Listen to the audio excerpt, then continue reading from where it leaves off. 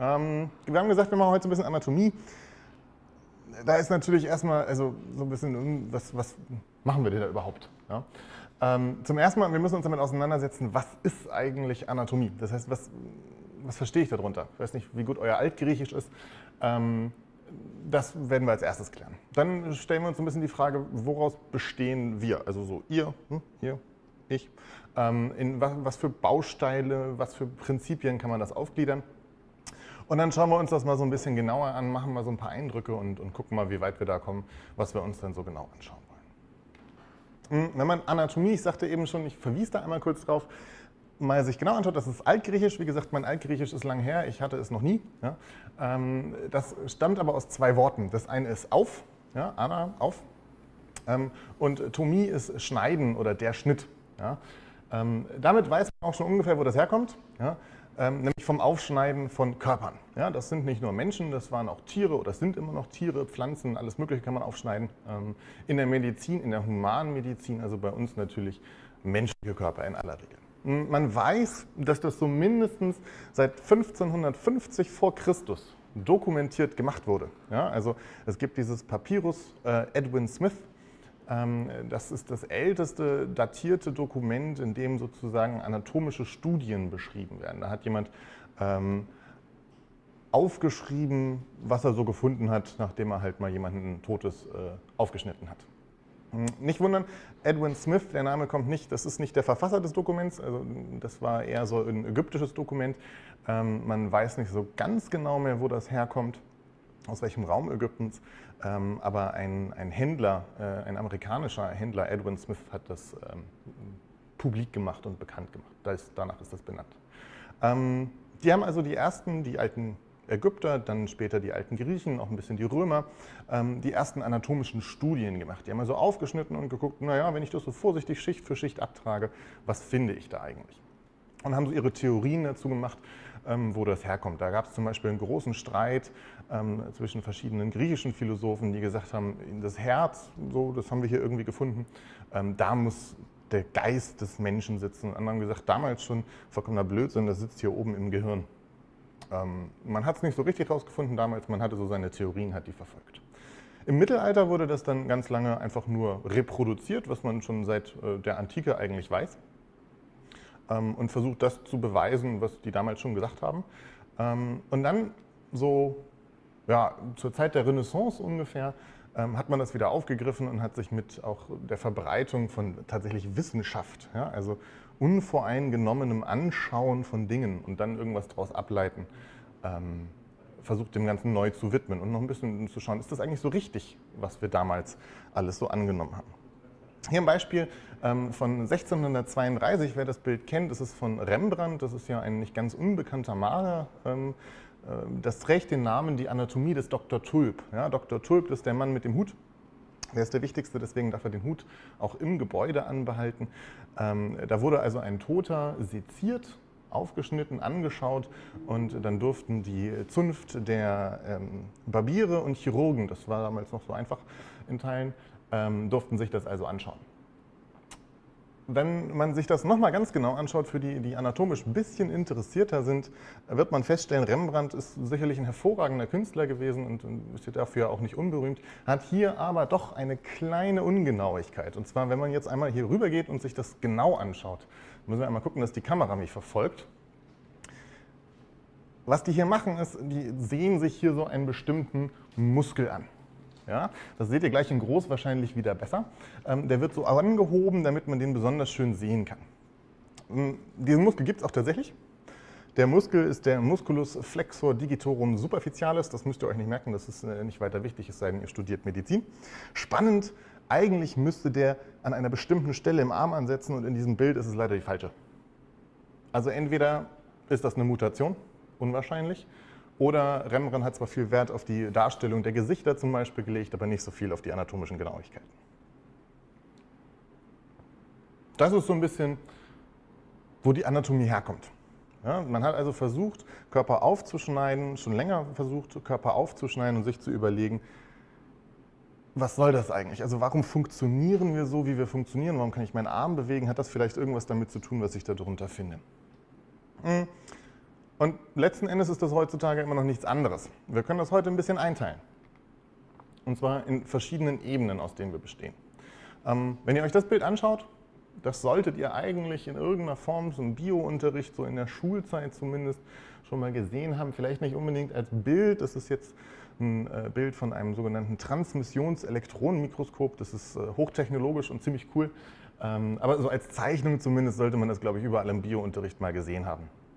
Ähm, das ist eine Zelle. Ja, das ist so eigentlich so der kleinste Bestandteil unseres Lebens. Ja.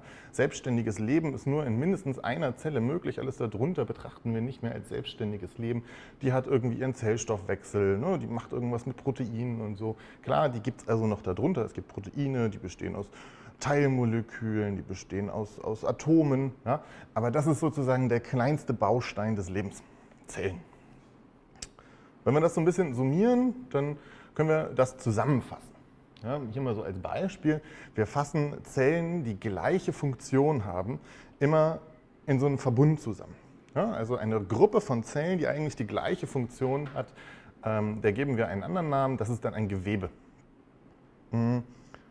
Dazu kommt beim Gewebe nicht nur die Zelle an sich, sondern quasi außerhalb der Zelle befinden sich Proteine, Strukturen, manchmal sind das auch so, so ja, Metallablagerungen quasi, ja, ähm, die extrazelluläre Matrix, also die Zeug außerhalb der Zellen. Ja. Ähm, das zusammen bildet dann Gewebe. Gewebe können wir unterteilen, da gibt es fünf verschiedene Arten, sagt man so im Groben. Wir unterteilen in Fettgewebe, in Muskelgewebe, in Epithelgewebe, das ist so eine Art Haut immer, ja, in Binde- und Stützgewebe und ähm, in Nervengewebe. Das sind die fünf Gewebearten, aus denen kann ich eigentlich alles zusammen basteln. Ja, die decken so grob alles ab. Ähm, Fettgewebe, vielleicht, das sagt eigentlich so jedem was, ne? das haben wir so irgendwo hier so, Frauen auch hier so mehr, und also ne, irgendwo ist das immer. Ähm, das ist natürlich klar, das kennt ihr als Energiespeicher, wenn ihr zu viel gegessen habt, das ist natürlich nur für den Winter, damit ihr da nicht hungern müsst. Ähm, Fettgewebe gibt es aber auch woanders. Also Fettgewebe haben wir zum Beispiel auch um das Herz herum oder um die Nieren herum. Ja? Ähm, das ist ein sogenanntes Baufett, das hat da eigentlich, eigentlich so, eine, so eine polsternde Funktion. Ja? Das kann man auch aufbrauchen, also wenn man extrem dünn ist und hungert und Extremsport betreibt gleichzeitig, dann braucht man das halt auch irgendwann auf. Das ist aber eigentlich gar nicht mehr so gut. Ja? Also so ein bisschen Fett sollten wir schon haben, das ist gar nicht so schlecht. Muskelgewebe ist klar, das kennt ihr, ne? Muskeln, Muskelzellen eignen sich immer dazu, sich zusammenzuziehen. Die können nichts anderes. Muskelzellen und Muskelgewebe zieht sich zusammen. Muss nur sagen, in welche Richtung, also wo die quasi anfangen und aufhören und dann zieht sich das zusammen. Binde- und Stützgewebe, das kennt man auch. Ja, Bindegewebe, das ist das, was nachlässt. Dann hat man Orangenhaut im Alter, ja, Zellulite. Ähm, Stützgewebe, das ist zum Beispiel Knorpel, das ist Knochen. Ja, es stützt uns. Ähm, und dann Nervengewebe. Nervengewebe, naja, wie der Name schon sagt, besteht aus den Nervenzellen, Dendriten, Axone und so. Das sind im Grunde die, die Kommunikationsbahnen, ja, die großen Kabel, die wir so im Körper verlegt haben. Gibt es auch mit verschiedenen Zellen drumherum. Spannend, und das ist dann das Letzte, was wir noch äh, uns ein bisschen anschauen wollen, auch ist Epithelgewebe, Epithelgewerbe oder so, so Mini-Häute sozusagen. Ähm, hier sehen wir ganz viele auf den Folien. Ja. Ähm, die haben ganz unterschiedliche Funktionen. Ja. Die Eigenschaft ist, die grenzen immer irgendwelche Räume ab. Ja, also zum Beispiel unseren Körper nach außen, Haut. Ja, das ist Epithelgewebe. Das ist eine bestimmte Art von Epithelgewebe. So. Oder die kleiden unsere Lungen aus von innen. Das ist eine andere Art von Epithelgewebe. Wer sich an die Anatomie so des Thorax erinnert, da haben wir drüber gesprochen, da gibt es ja den Pleuraspalt zum Beispiel. Ja? Und dieser Pleuraspalt ist auch ausgekleidet von einem Epithelgewebe. Das heißt, das ist immer so ein Zellverbund ähm, der sich irgendwo an irgendwelchen anderen Räumen ansetzt und da irgendeine Funktion hat. Der macht auch Drüsen, das heißt, der produziert irgendwas und stößt das aus. Ähm, oder der schützt irgendwas oder so. Das ist so Epithelgewebe, das ist ganz faszinierend. Mm, das ist jetzt noch nicht die ganz größte Baustelle, also sozusagen nur von Gewebe sind wir jetzt noch nicht fertig, sondern wir können das noch ein bisschen höher klassifizieren. Und dann kommen wir zu den Organen. Ein Organ ist naja, im Grunde ein Organ ist ja immer so eine Art eigenständiges Ding, also es lebt nicht ohne uns, ja, aber es füllt eine relativ komplexe Funktion eigenständig aus. Hm, hier haben wir ein Beispielorgan, das ist die Niere, ja, das habt ihr vielleicht erkannt, steht ganz viel Niere drauf, muss die Niere sein. Ähm, gibt aber noch viel mehr. Vielleicht fallen euch ja ein paar ein. Ähm, wir haben, glaube ich, so knapp 10 Sekunden Verzug. Ähm, da kriege ich bestimmt ein paar äh, Kommentare zu lesen, was euch so an Organen einfällt. Ähm, während ihr überlegt, Organe bestehen immer eigentlich aus fast allen fünf Gewebearten. Ja? Das heißt, da ist immer ein bisschen Muskelgewebe mit dabei, da ist immer ein bisschen Fettgewebe mit dabei, da ist Binde- und Stützgewebe mit dabei, Muskelgewebe, Nervengewebe und ganz besonders natürlich auch Epithelgewebe, mein Lieblingsgewebe, wie das vielleicht ihr schon gemerkt habt. Ähm, ja, ich lese hier was von einer Biolehrerin. Das ist auf jeden Fall noch kein Organ, also die hat hoffentlich Organe, ganz viele. Ja? Ähm, darüber hätte sie dann hoffentlich auch was gut erklären können. Ähm, aber das sind also Organe. Ja? Haben wir denn schon ein paar Organvorschläge, mit denen wir uns beschäftigen könnten im Verlauf? Ich schaue jetzt unvorsichtig, äh, unvorsichtig nicht, vorsichtig in die, in die äh, Regie. Ich lese hier Herz, Magen und Bauchspeicheldrüse. Ja, vollkommen richtig. Ja? Herz ist natürlich ein abgeschlossenes Organ für sich. Ja? Magen ist ein Organ für sich. Die Bauchspeicheldrüse, das Pankreas ist auch ein Organ für sich. Ja, hervorragend. Ja? Niere bitte nicht schreiben, das habe ich schon erwähnt. Das wäre jetzt irgendwie ein bisschen, also so einfach müsst ihr es euch nicht machen. Hat jemand Niere geschrieben? Ich sehe ein Kopfschütteln, ich freue mich, vielen Dank. Ja? Genau, das ist so grundsätzlich die, sozusagen die Bausteine. Leber kommt gerade noch hinzu, sehe ich. Lunge, genau, ja, perfekt. Ähm, das sind alles so die, die, Organe, also ein Beispiel der Organe, die wir so haben. Hm? Das heißt, die Bausteine, aus denen wir bestehen, ist immer Zelle, Gewebe, Organ.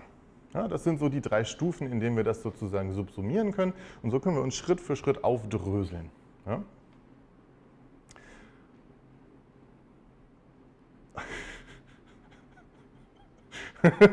ich bekomme, Entschuldigung, ich muss euch das kurz vorlesen, sonst also denkt wundert ihr euch, was ich hier treibe. Ja? Ähm, ich bekomme gerade aus der Regie eingespielt, dass leider niemand auf den Gedanken äh, gekommen ist, das Gehirn als, als, als Organ zu erwähnen. Die Regie scheint sich zu fragen, ob das daran liegt, dass das im Publikum so wenig genutzt wird. So interpretiere ich jetzt den Kommentar der Regie. Ja? Das möchte ich euch nicht unterstellt haben, sonst werdet ihr hier nämlich nicht aufmerksam und würdet hier zuhören und lernen. Ja? Oder eben mich verbessern, wenn euch was auffällt. Also, Organe. Ja, große Bausteine, Gewebe, nächst kleinerer Baustein, kleinster Baustein, Zelle. Daraus bestehen wir. Jetzt ist natürlich so ein bisschen die Frage, wenn wir jetzt anfangen, uns gleich damit ein bisschen auseinanderzusetzen im Detail, ähm, Orientierung im Gelände. Ja, das wäre eigentlich ein schönes Thema dieses Quartal gewesen, so ein bisschen Karte schnappen und durch die Gegend laufen. So ähnlich können wir das im Körper natürlich auch machen. Das Blöde ist immer, wir haben wenig Koordinaten im Körper. Ich weiß nicht, ob ihr euch irgendwo welche drauf tätowiert habt, ich nicht. Das heißt, wir müssen irgendwelche Begriffe finden, mit denen wir uns unterhalten können. Da gibt es verschiedene Optionen. Ja? Ähm, was ihr hier einmal seht, das sind äh, größtenteils die, die, lateinischen Namen mit Achsen und, und, Ebenen. Und da kann man das sehr professionell äh, beschreiben. Da wundert sich, die Hälfte der Ärzte versteht das nicht, es sei denn, sie sind Radiologen. Ja? Ähm, sonst wissen die immer nur zwei von drei Ebenen und ungefähr eine Achse. Ja? Ähm, das ist eine Möglichkeit. Ja, ihr seht hier zum Beispiel die Transversalebene. Das ist also quasi, wenn man mich immer so von oben in unten in, in Schichten zerlegen. Ja? Oder ähm, die Frontalebene. Ja, das ist, wie der Name schon sagt, wenn ihr mich von vorne immer so in Schichten zerschneidet, in der man sich bewegen kann. Die Längsachse natürlich, meine Länge, eine Achse, ja, eindimensional, nicht zweidimensional im Gegensatz zur Ebene. Das wäre eine Möglichkeit für die Orientierung im Gelände. Man kann das noch ein bisschen komplizierter machen. Ähm, und ich hoffe, ihr könnt das so halbwegs gut erkennen. Es ist relativ klein geworden, sehe ich gerade. Ähm, dann kann man das noch mit Richtungsbezeichnung. Also wir haben nicht nur Ebenen und, und Achsen, sondern wir haben auch natürlich Richtungsbezeichnungen. Dann kann man zum Beispiel sagen, das liegt kranial, das liegt kaudal. Ja? Kranial, lateinisch der Kopf. Ja? Kaudal, weiß jemand, was kaudal heißt? Dann könnt ihr euch mit was anderem beschäftigen als Zombies. Ja? Ich vermute mal nicht, aber wir lassen das kurz stehen. Ja? Also kranial, kaudal, dann könnte man sagen dorsal, ventral, lateral, medial, radial, vollkommen egal. Ja? Das sind also lauter lateinische Begriffe, mit denen wir Richtungsangaben machen müssen. Entscheidend, und das ist das, was ich daraus mitgeben möchte, ist, ähm, dass wir irgendwie eine Art brauchen, wie wir einheitlich uns verständigen können, wovon sprechen wir eigentlich gerade. Ja, wo, wo, befinden wir uns gerade im Körper und in welche Richtung bewegen wir uns gedanklich jetzt mal in diesem Körper. Ja? Liegt das, wenn ich sage oberhalb, was meine ich damit? Ja, das ist so der Punkt. Hat jemand, weiß jemand, was Kaudal ist? Ich sehe noch keine Reaktion. Ich sehe vielleicht doch Reaktion. Ich bin jetzt gespannt. Ich sehe immer das nur, nur so indirekt, deswegen. Ähm, ja, perfekt. Das ist vollkommen richtig, Vivian. Ja, Kauda, der Schwanz. Ja? Kaudal ist, wenn ihr mal kurz an euren Allerwertesten denkt, also ich zeige den jetzt extra nicht in die Kamera, das wollt ihr nicht sehen. Ja? Ähm, da gibt es das Steißbein. Ja? Ähm, und das Steißbein ist höchstwahrscheinlich, das vermuten wir jedenfalls, ein Überbleibsel eines, eines tierischen Schwanzes, so wie bei der Katze oder bei uns vermutlich eher vom Affen. Ja? Ähm, bestimmten Affenarten, wenn ihr euch erinnert, die haben einen Schwanz. Ja? Ähm, und äh, das ist kaudal, das nennen wir beim Menschen auch tatsächlich so. Das Blöde ist, unterhalb des Beins bedeutet kaudal, also etwas anderes als oberhalb der Hüfte. Ja? Weil von hier betrachtet, kaudal heißt in Richtung Hintern. Ja? Und vom Knie, jetzt muss ich doch mal hier so ein bisschen, ja, Knie oder Fuß, das seht ihr in der Kamera jetzt nicht, aber ich halte gerade hier voll sportlich meinen Fuß hoch, ähm, Richtung Kauda, also Richtung Schwanz. Ja, hier, ja, ja jetzt sieht man es. Ja. Hier, Kauda, ja, das wäre dann in diese Richtung. Das ist schon irgendwie eine unpraktische Angabe. Ja. Ähm, treten wir einen Schritt zurück. Also worauf müssen wir hinaus? Wir brauchen irgendwie eine Einigung. Ich habe mal versucht, das so ein bisschen zusammenzufassen, was wir uns irgendwie einigen könnten. Also wir brauchen keine lateinischen Begriffe, das muss nicht sein. Ne? Da können wir uns darauf einigen. Wichtig wäre aber irgendwie zu wissen, okay, wir müssen oben und unten wissen. Ja? Dann nehmen wir oben den Kopf oder kopfwärts, unten fußwärts, ja, das wäre schön. Vorne heißt immer Richtung Brust oder Bauch ja? und hinten immer rückenseitig, also mehr so hm, in die Richtung. Ihr seht das auf der Abbildung. Rechts und links sollten wir uns auch drüber einig sein. Ähm, das haben wir auf jeden Fall schon mehrfach besprochen. Ne? Wenn wir sagen rechts, meinen wir immer die Sicht des Patienten. Deswegen steht rechts bei mir links auf der Folie. Ich schaue den, ne, Patient andersrum und so spiegelverkehrt. Das ist nicht, weil ich zu blöd bin, das ist Absicht. Und innen und außen sind zum Beispiel auch immer noch so passende Begriffe innerhalb des Körpers außerhalb. Das klingt ja schon viel einfacher. Hm, da können wir uns so ein bisschen mit orientieren. Jetzt wird es noch mal ein kleines bisschen tricky. Vielleicht kennt ihr das hier. Das ist der äh, vitruvianische Mensch, ich habe es extra hingeschrieben, ja, von Da Vinci, ca. 1490 nach Christus entstanden. Ähm, warum nehme ich den? Wenn euch was auffällt an der Pose dieses Menschen, der steht ja nicht so entspannt, wie ihr vor der Kamera steht, ja, oder ich, sondern die Handhaltung, insbesondere die Handhaltung möchte ich beachten. Die Handflächen sind euch zugewandt. So. Warum? Das macht einen Unterschied. Ich kann ja so stehen, jetzt müssen wir nochmal auf die große Kamera wechseln. Und wenn ich jetzt sage vorne an der Hand, was meine ich dann? Meine ich jetzt meinen Daumen? Meine ich meine Handfläche? Meinen Handrücken? Das ist blöd. Das gleiche Problem habe ich bei den Beinen, das zeige ich jetzt nicht nochmal. Ich habe heute genug Sport gemacht. Ja? Ähm, da haben wir ein Problem. Das heißt, bei allem, was irgendwie beweglich ist, müssen wir uns darauf einigen, was ist eigentlich normal. Und deswegen hat man sich geeinigt, normal ist das, was wir im vitruvianischen Menschen auch so ein bisschen sehen. Die Handinnenflächen sind nach vorne gerichtet. So steht natürlich normalerweise kein Mensch. Das ist keine natürliche Körperhaltung. Ähm, aber man hat sich darauf geeinigt, das könnte man eigentlich nehmen. Dann können wir uns so Bezeichnungen wie radial, das ist also zum Radius, das ist ein bestimmter Knochen, ne, ähm, sparen.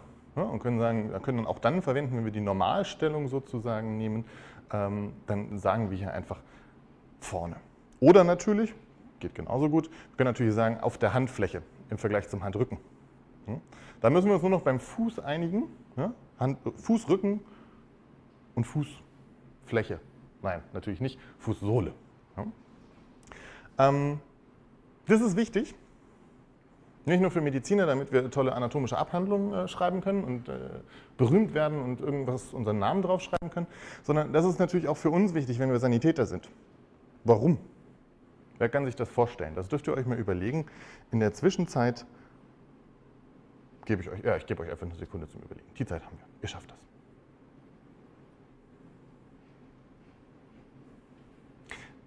Ja, ich lese gerade Simon weist noch mal kurz darauf hin, dass es eine, der vitruvianische Mensch eine Zeichnung nach einer architektonischen Proportionsbeschreibung ist. Das ist vollkommen richtig. Ich äh, habe auch überhaupt kein tieferes Interesse, mich mit dem vitruvianischen Menschen auseinanderzusetzen. Das Spannende ist die Körperhaltung. Ja? Für mich ist das jedenfalls das Spannende. Ja?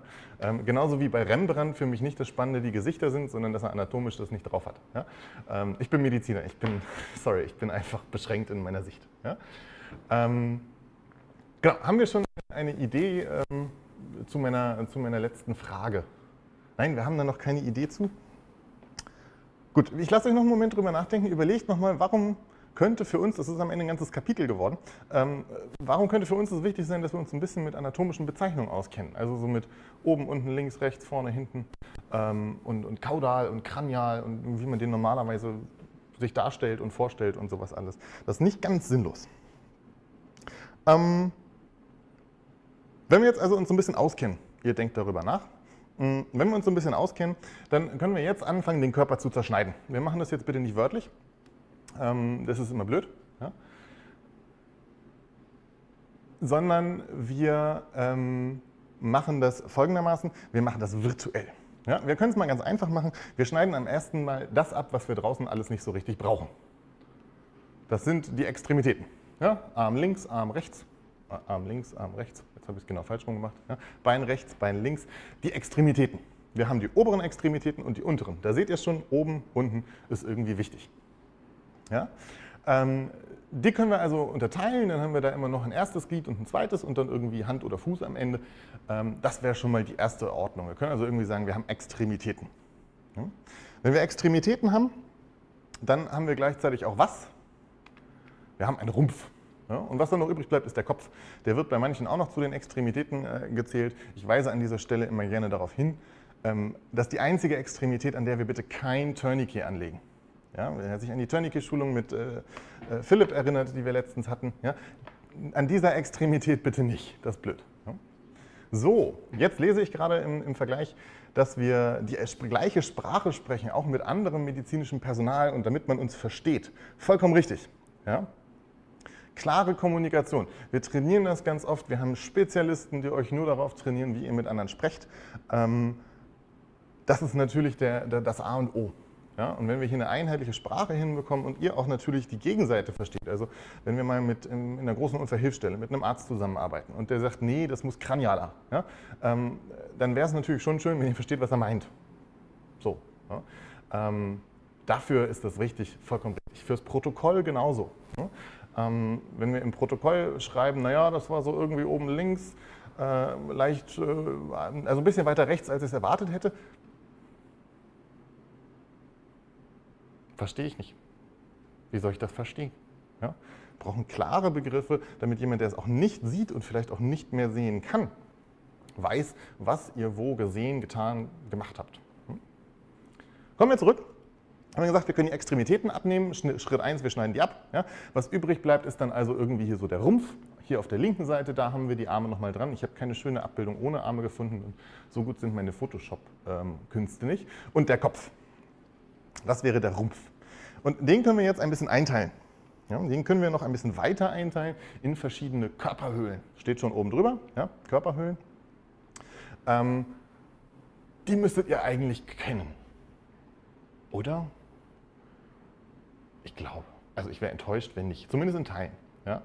Diese verschiedenen Körperhöhlen sind alle, und damit kommen, greifen wir quasi wieder auf den Anfang zurück, den wir hatten, ausgekleidet mit Epithelgewebe. Deswegen können wir die gut unterteilen. Ja? Mal abgesehen davon, dass da noch andere Grenzen sind. Hier in der Mitte, zwischen der ähm, roten und der lilanen ähm, Körperhöhle, da sitzt das Diaphragma oder das Bauch, äh, das, das Zwerchfell, das Bauchfell nicht, das Zwerchfell, ja, der große Muskel, den wir zum Atmen brauchen. Ähm, wenn man das aufmacht, tatsächlich in einem Operationssetting zum Beispiel, hm, oder tatsächlich auch in der Anatomie, wenn man da einen Menschen seziert, ähm, dann werdet ihr feststellen, das ist ganz, ganz deutlich abgrenzbar. Das sind wirklich unterschiedliche Höhlen, von denen wir da sprechen. Das heißt, es gibt also irgendwie diese Bauchhöhle, die ab, hier auf Englisch beschrieben als die Abdominal Cavity. Ähm, dann gibt es da unten drunter ähm, noch das kleine Becken. Äh, auf dem Englischen, Im Englischen nennt man das das Pelvic oder die Pelvic Cavity. Die ist quasi nach oben hin abgegrenzt, auch von einer Haut, so einer ganz dünnen, feinen Haut. Ja, ähm, und nach unten hin begrenzt vom knöchernen Becken, was da drumherum sitzt. Oben im Oberkörper, das solltet ihr schon kennen, das haben wir schon mehrfach besprochen, gibt es diese Abgrenzung der Lungenhöhle, ja, ähm, in der also die beiden, die rechte Lunge und die linke Lunge sitzt. Und in der Mitte haben wir das sogenannte Mediastinum oder den Herzbeutel eigentlich hauptsächlich. Ja. Ähm, kann man noch mal ein bisschen genauer unterteilen, ist für uns aber gar nicht so wichtig. Hm, da oben drüber, das ist das, was hier in Orange noch eingezeichnet ist, ähm, gibt es das obere Mediastinum das ist ähm, so eine Art Höhle, so ein, also die gehört zu nichts anderem richtig dazu, deswegen ist es so eine Art Höhle zusätzlich. Ähm, da sitzen aber schon wichtige Dinge drin, aber so für uns als Sanitäter jetzt erstmal nicht so von Bedeutung. Und ich habe schon gesagt, den Kopf haben wir noch. Der Kopf ist nicht ganz alleine. Wir haben noch diese Art, ja, hier steht es beschrieben als die Cranial Cavity zusammen mit der Vertebral Cavity. Das ist tatsächlich so eine, so eine Haut, ja, so ein Sack. Und da drin schwimmt dann das Gehirn zusammen mit dem Rückenmark. Ja, wenn ihr euch erinnert, Sanitätsdienstlehrgang, Rettungssanitäterschule oder was auch immer ihr ähm, so mitbringt, Biounterricht ist das, glaube ich, auch irgendwann mal Thema. Ähm, das zentrale Nervensystem ist umgeben von so einer harten Haut. Die heißt auch tatsächlich einfach harte Haut, Dura Mater. Ähm, und das schwimmt dann quasi in dieser Cranial Cavity und dieser Vertebral Cavity, also im Rückenmark und im Kopf. Mhm. Auch das merken. Ich frage dazu noch was an. Nämlich, warum sollen wir das jetzt eigentlich wissen? Warum bringt uns Anatomie irgendeinen Vorteil? Mal abgesehen davon, dass wir jetzt sagen, ähm, wir können uns irgendwie gut verständigen miteinander. Angenommen, da ist jetzt zum Beispiel einer und der hat starke Schmerzen im, im Oberschenkel. Links. Ist gestürzt, jetzt tut der linke Oberschenkel weh. Was bringt es euch, wenn ihr jetzt ein tieferes Verständnis von diesem Oberschenkel hättet? Oder mit dem tieferen Verständnis, was ihr vielleicht schon habt? Ähm, naja, das möchte ich jetzt einmal kurz erklären und dann könnt ihr euch ähm, bei den nächsten dürft ihr euch selber austoben. Wenn man so ein richtig tiefes Verständnis hätte, dann könnte man zum Beispiel wissen, wie die Muskeln verlaufen. Das hier ist so eine schematische Abbildung, die ihr hier seht, das bloß nicht merken, ja, alles nicht wichtig. Ähm, aber das ist eine schematische Abbildung der Muskeln, die wir im Oberschenkel haben und genau genommen einer bestimmten Gruppe der Muskeln, die wir im Oberschenkel haben. Und wenn ihr jetzt genau wüsstet, wie die verlaufen, ja, wie die funktionieren, wie die ansetzen, das heißt an welchen Knochenpunkten die sich befestigen, Muskeln müssen sich ja immer an irgendwelchen Knochen festhalten. Ähm, dann könntet ihr jetzt zum Beispiel sagen, wenn ihr jetzt also vor euch steht und sagt, ich kann einfach, was weiß ich, ich kann mein Knie nicht mehr richtig beugen oder nicht mehr richtig strecken, ja, dann könntet ihr euch damit auseinandersetzen und sagen, wenn das nicht mehr strecken kann zum Beispiel, mh, was passiert denn da? Die Kniescheibe bewegt sich gar nicht mehr. Ah, jetzt erinnere ich mich an meinen Anatomiekurs, ja, das muss folgender Muskel sein, der macht das normalerweise. Wenn das jetzt nicht passiert, dann ist wohl irgendwas an diesem Muskel kaputt. Das wäre ein mögliches Szenario. Ja? Ähm, dafür bringt uns das was. Was kennt ihr noch aus dem Bein zum Beispiel, was euch hilft, ähm, ob zu, einzuschätzen, ob das jetzt gefährlich ist oder nicht? Naja, im Bein verläuft eine große Beinarterie. Die große Beinarterie. Ja? Ähm, wenn ihr wisst, dass die da liegt und wenn ihr am besten sogar noch so grob wisst, wo die liegt, ja? Und jetzt kommt einer und da steckt irgendwas in diesem Bein drin, dann könnt ihr euch relativ zügig ausmalen, ist es gefährlich oder ist es nicht. Vielleicht weiß ja noch jemand so grob, wo diese Arterie langläuft. Beinarterie. Schon mal gesehen, schon mal gehört, schon mal getastet. Denkt mal drüber nach. Ähm, jetzt gehen wir auf das, was ich gerade sagte. Ich werde euch noch was fragen. Ja? Erinnert ihr euch noch an das Thema Spannungspneumothorax? Das hat jeder von euch garantiert schon 15 Mal gehört in seinem Leben. Vielleicht fünf, aber also mehrfach. Einigen wir uns auf mehrfach. Warum könnte das wichtig sein, dass ihr euch so ein bisschen mit Körperhöhlen auskennt? Warum helfen euch Körperhöhlen? Ihr erinnert euch an diese Abbildung eben mit den Blau und Lila und Orange und Grün und so. Warum könnte da das wichtig sein, wenn ihr jetzt über den Spannungspneumothorax nachdenkt, dass ihr euch so ein bisschen mit den Körperhöhlen auskennt? Schreibt doch mal was rein. Ja? Denkt dran kurz, wie wir den Oberkörper, den Thorax unterteilen, in welche Körperhöhlen. Überlegt noch mal kurz vielleicht, wie funktioniert denn so, also was macht so ein Spannungspneumothorax? Ähm, wie kommt es dazu? Was ist das Gefährliche daran? Ich befürchte, ja, ich, ich, ich, höre schon, ihr seid alle schreibfaul. Ich kann so nicht arbeiten. Ja, ich kann, also arbeiten würde ich das jetzt auch nicht nennen, aber ich kann es nicht. Ja, es funktioniert nicht. Ähm, wenn ihr euch nochmal vors innere Auge, wir schaffen das auch ohne Schreiben. Wenn ihr es vors innere Auge euch ruft, wie so ein Spannungspneumothorax funktioniert. Ja, jetzt kommt doch was. Ah, ich freue mich. Ich muss es nur noch verstehen.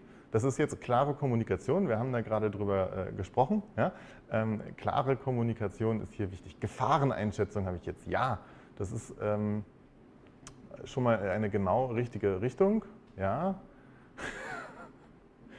Tim, äh, da, äh, Gefahreneinschätzung, damit man sie mit der Nadel findet.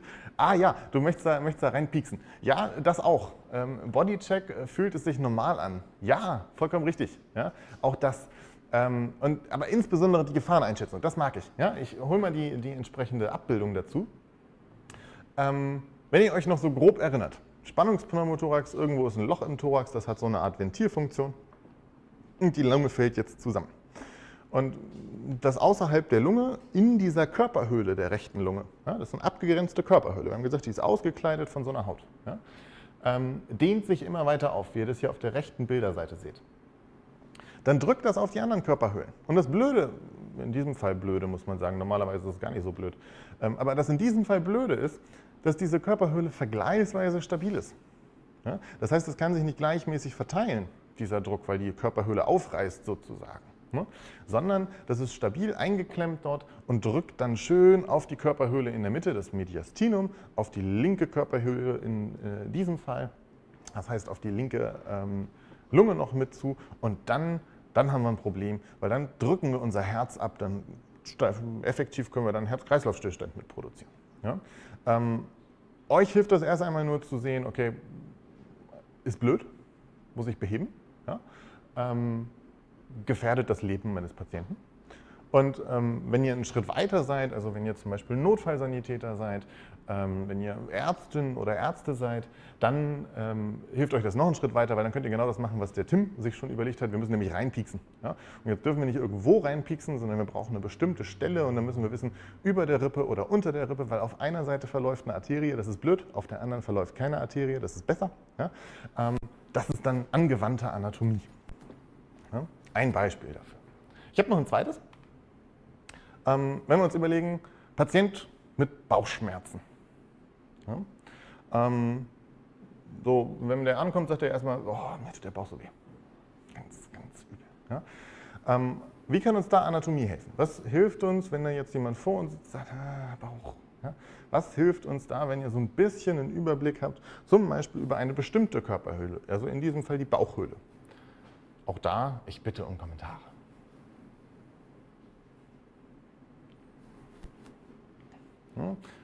Wie nähert man sich dem, während ihr äh, fröhlich kommentiert? Wie nähert ihr euch dem am besten?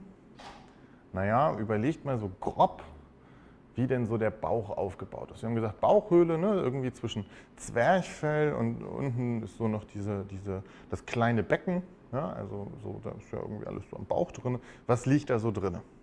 Ja? Ist das da überall immer gleich? Bewegt sich manches, bewegt sich manches nicht? Kurz drüber nachdenken. Schauen wir mal, was dabei rumkommt.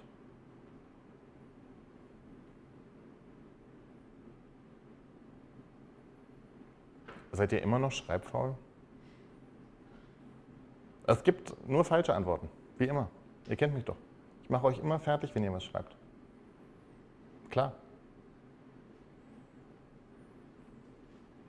Gar nichts, gar nichts. Eieieiei, ich bin, ich bin tief enttäuscht. Ihr macht mich traurig heute. Ja? Na gut, dann äh, machen wir auch das gemeinsam. Ähm, machen wir auch das gemeinsam. Bauch. Ja? Wenn ihr euch kurz fragt, was das für graue Striche sind, ja, das sind keine Organe, von denen ihr noch nie gehört habt, sondern das obere Graue soll quasi den Abschnitt der Rippenbogen, ja, die hier noch so ein bisschen über den Bauch reichen, nicht nur im Thorax, sondern ein bisschen über den Bauch reichen, ähm, sein. Und unten, das ist ungefähr die Höhe der, der Beckenschaufeln, die da so sitzen. Ja, Pi mal Daumen. Ähm, die sollen nur so grob zur Orientierung. Ja, wir hatten Orientierung heute schon ähm, haben. Wenn wir jetzt also uns das anschauen, dann wissen wir, bestimmte Dinge sind relativ beweglich im Bauch. Das ist zum Beispiel der Dünndarm, der da ganz in der Mitte in Orange sitzt. Ja? Aber andere Dinge sind fest, die bewegen sich garantiert nicht. Ja? Das ist zum Beispiel die Leber, das ist die Milz, das ist der Magen. Ja? Das sind so Organe, die sind ziemlich fest, ortsständig. Ja? Und wenn wir uns das bewusst sind, dann können wir jetzt also den Patienten fragen und dann fragen wir den Patienten, wo tut es denn genau weh? Und dann sagt er zum Beispiel, ah, so hier, so da so. Ja? Und dann können wir aufschreiben, ah, rechter Oberbauch zum Beispiel wäre eine Möglichkeit. Ja, wir teilen, ich gehe nochmal rüber an die Folie, dann kann man das so ein bisschen besser sehen.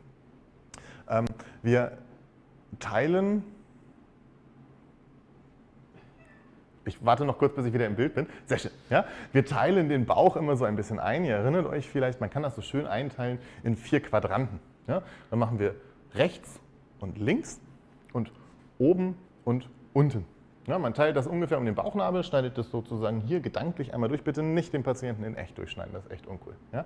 Ähm, hier können wir das also einteilen. Wenn ihr dann so sagt, oh, hier, da, da, da drückt so, ja, dann ist das also der rechte Oberbauch zum Beispiel. Und dann könnt ihr jetzt ein bisschen überlegen, ja, was kenne ich denn, was da so sitzt? Naja, da ist Dickdarm, das kann also einfach, wenn er ein bisschen, ein bisschen festsitzende Luft oder so irgendwie da hat, ja, ähm, das könnte sein, was habe ich da noch? Ja, ich habe die Leber. Vielleicht, weiß ich nicht, kann die Leber wehtun? Hm, mal schauen. Ja? Ähm, und ähm, dann haben wir, haben wir noch eine Gallenblase darunter sitzen. Kann die wehtun? Ich glaube, ich habe da mal was von gehört. Gallenblase könnte zum Beispiel wehtun. Ähm, wenn hinten rechts wehtut, dann ist das Organ äh, nicht äh, oben links. Ja, genau. Ja, genau darauf will ich hinaus. Dann ist es eher nicht das Organ äh, oben links. Ja? Das ist Anatomie. Ja? Wissen, wo es ist, und wenn es dann ungefähr da wehtut, dann spricht ist das ja vielleicht eine Idee, dass es das Organ ist, was es verursacht. Das heißt, wenn jemand sagt Bauchschmerzen und wir haben so ein Grundverständnis von Anatomie, dann können wir uns überlegen, können wir das ein bisschen eingrenzen. Natürlich können wir das nicht sicher sagen, klar. Ja? Aber wir können zumindest in die Richtung gehen und ein bisschen genauer überlegen und dann vielleicht auch abschätzen, wie wichtig ist das. Ja? Jetzt lese ich hier gerade, wenn wir zum Beispiel im rechten Unterbauch haben, dann könnten wir den Blinddarm, exakt. Ja, der Blinddarm, den seht ihr hier unten, ähm, noch seht ihr mich ja im ganzen Bild, ähm, angebaut. Ja, der sitzt meistens, muss man sagen, im rechten Unterbauch. Ja, meistens. Hm. Dann gibt es noch ein paar andere Erkrankungen, Morbus Crohn, so eine chronisch entzündliche Darmerkrankung, die kann das machen. Ja? Ähm, das das wäre so ein typisches Beispiel. Ja?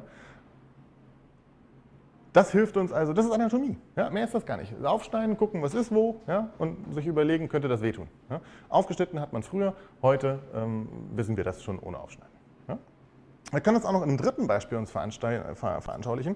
Da kommen wir so ein bisschen auf das, was ähm, Marc gerade schon angesprochen hat. Ähm, was ist mit einem Patienten mit Rückenschmerzen? Der kommt und sagt, mm,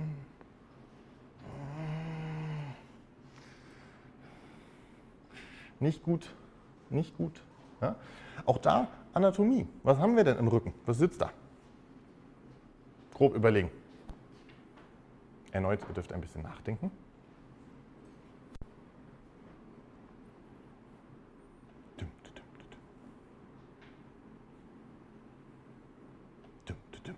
Was sitzt im Rücken? Ich weiß es nicht. Ich weiß es wirklich nicht. Das wäre doch eine Idee. Im Rücken natürlich die Wirbelsäule. Ja, klar, Wirbelsäule. Hm. Kann der Knochen selber wehtun? Der Knochen eigentlich nicht, aber da sitzt eine Haut drum, die könnte wehtun. Das ist aber eher selten. Gibt es auch, aber ist eher selten. Was haben wir dann noch? Wir kennen das, die Bandscheibe. Ja, dieses hübsche Blaue auf der linken Seite, auf der linken Abbildung, die Bandscheibe. Ja, die Bandscheibe selber kann überhaupt nicht wehtun. Das hat keinen Nerven, das kann nicht wehtun. Ja. Aber ähm, wer kennt es nicht, der Hexenschuss oder den Bandscheibenvorfall, ja, ähm, das drückt dann schön aufs Rückenmark und ihr erinnert euch, Rückenmark, das war irgendwie so eine Verlängerung des Gehirns. Ja. Ähm, das tut schweinemäßig weh, wer es schon mal gehabt hat, wird mir da sicherlich zustimmen. Ähm, da, das wäre so eine Möglichkeit. Ja. Bandscheibe. Aber ich sehe gerade, Simon hat das wohl geschrieben ähm, dazu, ja, da, läuft, da, da, sitzt auch noch die Niere an einer bestimmten Stelle. Also die Nieren, wir haben meistens zwei, ja, die sitzen, wenn man sich das rechte Bild hier anschaut, auch im Rücken relativ nah sogar. Ja? Das heißt, manchmal äußert sich auch so ein Rückenschmerz, eigentlich kommt er dann gar nicht so richtig vom Rücken, sondern von dem Ding leicht daneben. Das kann man dann genauer unterscheiden. Ähm, das wollen wir jetzt nicht machen. Wir machen heute nicht, nicht Schmerzen unterscheiden im gesamten Körper. Ähm, aber das ist auch so eine Idee, auf die man mal kommen kann. Und natürlich, auch das lese ich gerade von euch richtig, zwischen den Wirbelkörpern treten Nerven aus. Ja, auch das Anatomie, ja, wenn diese Nerven austreten, auch die können eingequetscht werden. Natürlich. Ja, ganz besonders, wenn man sich mal irgendwie blöd bewegt und dann ist der eingequetscht, dann tut das weh, dann ziehen sich die Muskeln zusammen, dann tut das noch mehr weh, dann ziehen sie sich noch mehr zusammen. Das ist so ein blöder Teufelskreis. Ja. Hm, das gibt es auch. Anatomie. Ja, das ist Anatomie. Deswegen ist Anatomie interessant für uns. Selbst wenn wir sagen, ich bin Sanitäter, ich brauche jetzt nicht wissen, ähm, was der Waldeyersche Rachenring ist oder so. Das ist nicht wichtig. Ähm, ja, das ist Anatomie. Aber es ist nicht alles Anatomie. Ja? Ähm, nicht alles ist direkt durch Anatomie offensichtlich. Ich habe mal beispielhaft äh, mein eines Lieblingsorgan mitgebracht, ja? ähm, das Herz. Herzschmerz jetzt nicht im übertragenen Sinne, sondern im sehr wörtlichen Sinne, beim, zum Beispiel beim Herzinfarkt. Das ist ja das klassische Beispiel inzwischen, wo man weiß, ein Herzinfarkt tut eigentlich sehr selten am Herzen weh. Ähm, sondern meistens, ne, ihr kennt das ja klassisch, Männer sagen eher so linke Schulter ganz oft, Frauen haben viel mehr ganz diffus, entweder ist es der Oberbauch oder ist es der Rücken oder ist es der Unterkiefer oder ist es gar nichts davon. Ja?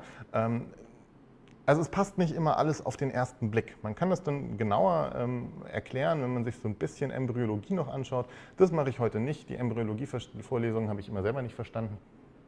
Ähm, jedenfalls lange nicht verstanden. Behaupte, jetzt geht es so halbwegs. Ähm, aber auf den ersten Blick ist das nicht dann ganz offensichtlich. Deswegen ist es wichtig, dass wir die Anatomie natürlich immer noch mit ein bisschen Denken kombinieren. Ja, so ein bisschen Wissen kombinieren, das wir haben.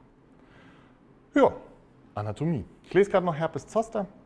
Herpes zoster, klar, auch Herpes zoster, ähm, das ist eine, eine Virusinfektion, ähm, kann einen entsprechenden Schmerz machen. Das ist ein Virus, das in Nervenzellen drin sitzt und dann, wenn es mal wieder hervorkommt, ähm, entzündet sich das, ihr kennt das vielleicht, in so einem ganz fest definierten Areal, tut fürchterlich weh. Genau,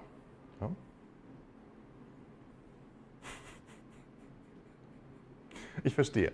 Das Hause Krause, im Hause Krause wird gekämpft. Ja? Ich bin fasziniert ähm, und, und verfolge das im Verlauf weiter. Also es ist nicht alles, es ist nicht alles Anatomie, ähm, die sofort offensichtlich ist, aber sie kann uns eben doch ganz oft helfen. Ja? Und wenn ihr dann dasteht und sagt, hm, ich weiß nicht so richtig, was mit diesem Patienten los ist, braucht er meine Hilfe, braucht er sie nicht, braucht er sie sofort, braucht er sie später, ähm, dann kann man sich da mal versuchen, so ein bisschen mit auseinanderzusetzen, Gedanken drüber zu machen, in einer stillen Minute das mal im Internet nachzuschlagen und äh, vielleicht hilft das dann ja. Wenn ihr keine Fragen mehr habt, ähm, fragt, also wenn ihr, wenn ihr welche habt, fragt, wenn ihr keine mehr habt, fragt auch. Ja? Ähm, ansonsten würde ich euch an dieser Stelle einen schönen Restabend wünschen. Es hat mich gefreut, dass ihr da wart. Ähm, ich hoffe, euch hat es auch gefreut, dass ihr da wart. Ähm, wir werden gerne offene Fragen jetzt noch klären, wenn die sofort kommen. Ansonsten sitze ich ja noch ein bisschen äh, hinter dieser Kamera hier quasi und dann äh, können wir ein bisschen äh, chatten. Und ich hoffe, ihr konntet ein bisschen was mitnehmen. Ich leihe meine Anatomie-Atlanten gerne aus. Bitteschön. Für allgemeine Fragen soll ich noch hinweisen, ähm, die wohl gestellt wurden oder noch gestellt werden. Kommt gerne gleich nochmal Nico ins Bild nach einer kleinen Umbaupause und der üblichen Doku über Flugzeugträger, falls wir die noch auf Lager haben. Bis dahin, schönen Abend, spendet fleißig, wir sehen uns.